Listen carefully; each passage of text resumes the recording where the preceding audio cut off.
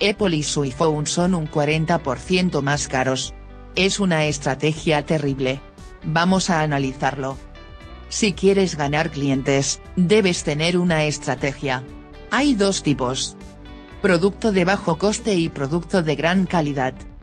Lo que significa que usted cobra el precio más bajo por un buen producto, y la diferenciación donde cobra una prima de precio por un producto mundial. ¿Cuál crees que fue la estrategia de Apple? Si adivinaste la diferenciación estarías parcialmente en lo cierto. El iPhone tenía un precio 44% más alto que un Nokia Lumia.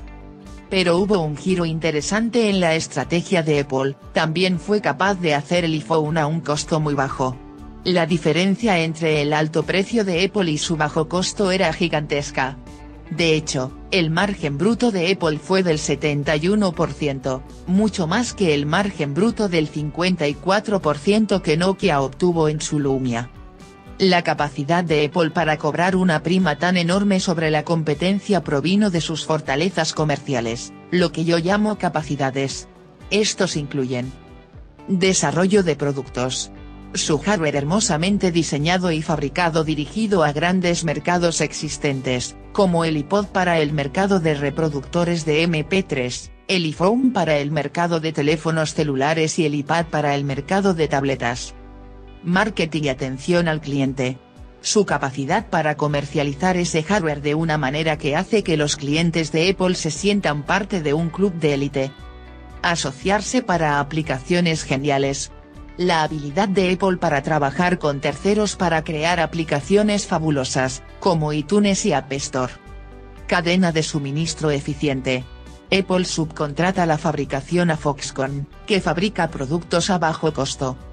La estrategia de alto precio y bajo costo de Apple funciona siempre que Apple pueda encontrar un nuevo producto que gane participación en un mercado diferente.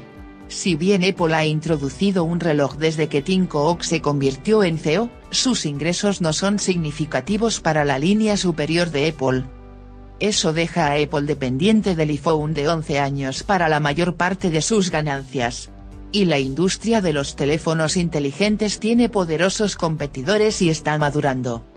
Apple ha estado produciendo nuevas versiones de iPhone y aumentando sus precios en ellas. Pero su alto precio no se mantiene para la última versión, el iPhone X, por lo que, según Bloomberg, Apple está ofreciendo a los clientes un descuento del 40%. ¿Cómo es eso? Apple agregó un banner en la parte superior de su sitio web que anunciaba el iPhone XR por 449 dólares, 300 menos que el precio oficial de la etiqueta.